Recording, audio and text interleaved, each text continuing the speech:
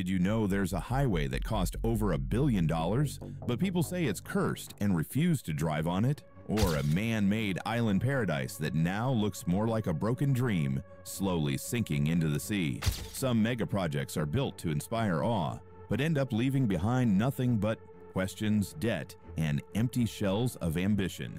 Today on Construction Wars, we're diving into five of the world's most useless mega projects, from a futuristic smart city that barely anyone lives in, to a towering skyscraper that touches the clouds but has never welcomed a single resident. And just wait till you see the capital city that was built in total secrecy, complete with 20 lane highways, yet almost nobody lives there. You will be thinking, why were these projects built?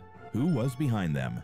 And most importantly, why did they fail so spectacularly? Before we get started, make sure to like this video and subscribe to Construction Wars because 95% of you watching our videos are not subscribing to our channel and let us know in the comments which one you think is the most mind-blowingly useless mega project. Number 5. Interstate H3, Hawaii. Let's kick off in Hawaii with a highway so picturesque, drivers might pull over just to stare if they dared. The 26 kilometer Interstate H3 cuts through emerald valleys and misty mountains, so stunning that officials once worried motorists would slam their brakes, triggering chaos on the road. But this road to paradise has a darker story first pitched in 1960 as a military lifeline connecting Pearl Harbor on Oahu's south shore to the Marine Corps Air Station on the East Coast. H3 hit an immediate wall of opposition. Native Hawaiian communities and environmental groups decried the plan, warning it would slice through sacred valleys and fragile ecosystems. Decades of reroutes and new environmental protections ground the project to a halt. It wasn't until 1986 that Congress stripped away those legal barriers, and in 1989, shovels finally hit the dirt. By the time H3 opened in December 1997, 37 years after its proposal, the landscape had changed. GPS and modern communications had eclipsed the original defense rationale, but every bold decision piled on cost. A once modest $300 million estimate exploded to $1.3 billion, around $50 million per kilometer, the priciest highway build on Earth.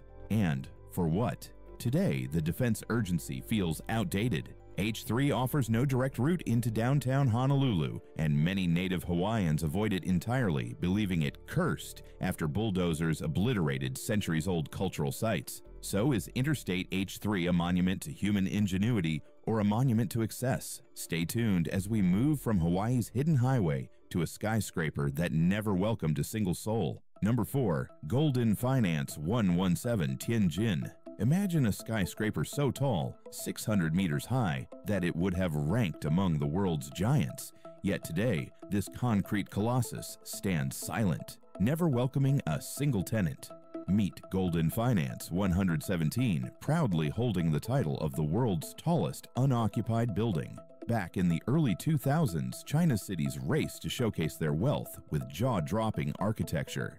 Billionaire Pan Sutong of Goldin Financial Holdings dreamed up a new luxury district just outside downtown Tianjin, Goldin Metropolitan. At its heart would tower the 128-story Goldin Finance 117 to 117 floors of lavish residential and office space, capped by a three-story diamond-shaped sky deck at 580 meters, complete with an observation deck, pool, and restaurant. Construction kicked off in 2008, with sites set on a 2014 grand opening. But when the 2008 financial crisis sent shockwaves through global markets, Sutong diverted funds to stabilize his other investments, and the cranes fell silent. Work briefly resumed in 2011, pushing completion to 2018. By September 2015, the structure was finally topped out, a moment that should have been triumphant. Instead, China's stock market crash that June had wiped out $13 billion of Sutong's fortune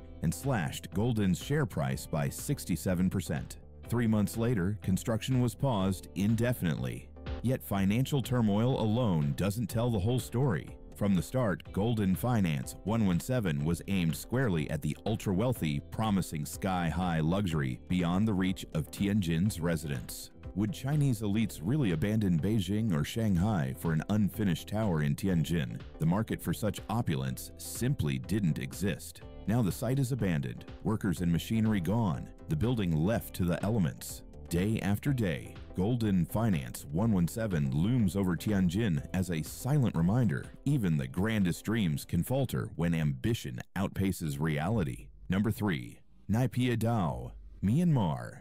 Imagine a brand new capital city rising overnight. 20 lane highways, gleaming hotels, and sprawling golf courses, all built in secret. Welcome to Naypyidaw, Myanmar's ultra-modern king's residence, conceived behind closed doors in 2002 by the country's military rulers, Naypyidaw was unveiled to the public in November 2005, but even its name remained a mystery for four more months. Why move a capital? Officially, Yangon was bursting at the seams, home to over 7 million people, its roads and infrastructure groaned under the pressure, with forecasts predicting the population would double by 2050. Strategically, some say the generals feared a naval attack on the coastal city. Others whisper it was astrologers' advice. Whatever the real reason, by 2006, Myanmar had already poured some $4 billion into crafting this futuristic metropolis. On paper, it had everything an airport with a 3.5 million passenger capacity,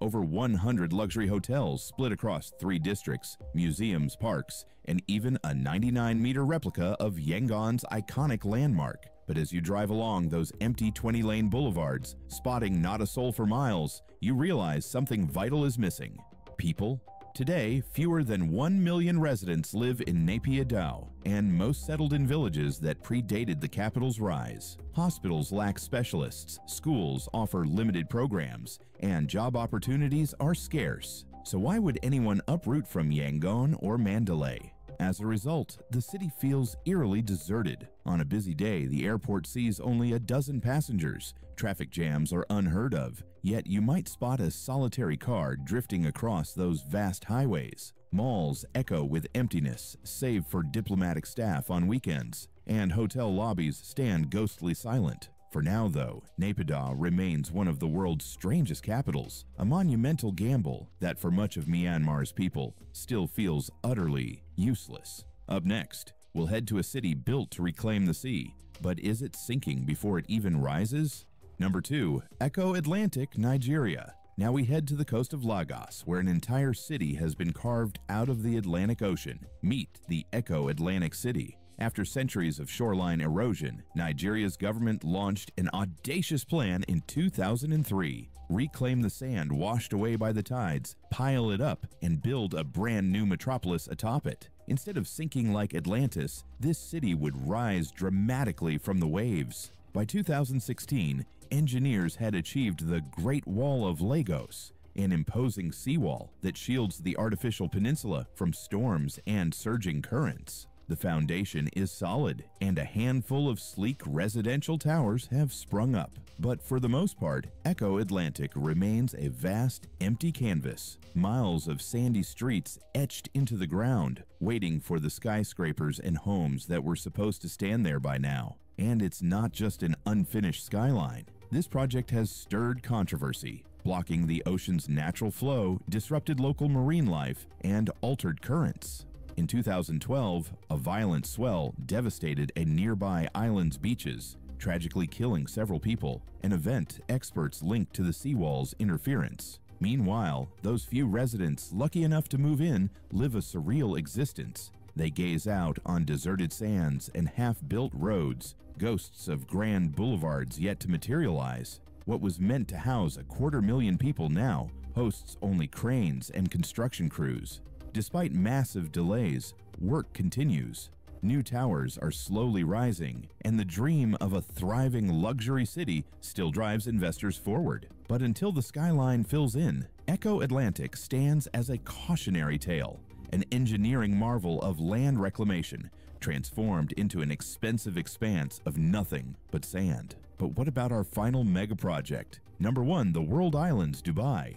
Just when you thought Dubai's Palm Jumeirah was jaw-dropping, along came an even wilder idea, a miniature globe floating offshore. Since 2003, developers have been carving out 300 sand-piled islets, each one shaped like a country or famous landmark. France, New York, Mount Everest, all ringed by a colossal wave breaker to tame the Arabian Gulf's tides. Billions of dollars and millions of cubic meters of dredged sand later, the islands stood ready. Dubai immediately began selling prime parcels to luxury hotel chains and ultra-wealthy investors. Blueprints promised ski slopes in Alps, beachfront villas in Montserrat, and wellness retreats in Siberia. Within months, most plots had new owners, yet none of these epic plans ever materialized. Today, the world islands are mostly silent sandbanks. You'll spot a beach club on Lebanon and a boutique shopping mall on North America, plus some construction hushed underway in Antarctica and Europe. But for the most part, these islands are empty outlines on the water, waiting for infrastructure that never arrived. Original plans called for a network of underwater cables and pipelines to supply power, water, and sewage, but laying those connections proved vastly more complex and costly than anticipated. Residents who dared move in rely on noisy diesel generators and daily water deliveries by barge. A promised causeway to the mainland remains just a line on a map. No roads, no utilities, no hotels, just sand. And the world isn't its only desert island project. In 2005, Dubai began four more artificial isles, then ran out of cash, washing away a quarter of the reclaimed land before pausing. Revival efforts started in 2022, but so far those two stand barren. Even the lesser-known Palm Jebel Ali archipelago, complete, sits ghostly and undeveloped. Imagine owning your own country, literally built to your specs, only to find nothing but dust and empty roads. If you had an entire island to call your own, what would you build? A private palace? An eco-resort? Or would you too let your grand vision slip beneath the waves? Tell us in comment section. If you enjoyed this video and want to stay updated, make sure you hit that subscribe button and ring the bell for notification. I'll see you in the next epic update on projects that are rewriting the rules of construction. Thanks for watching.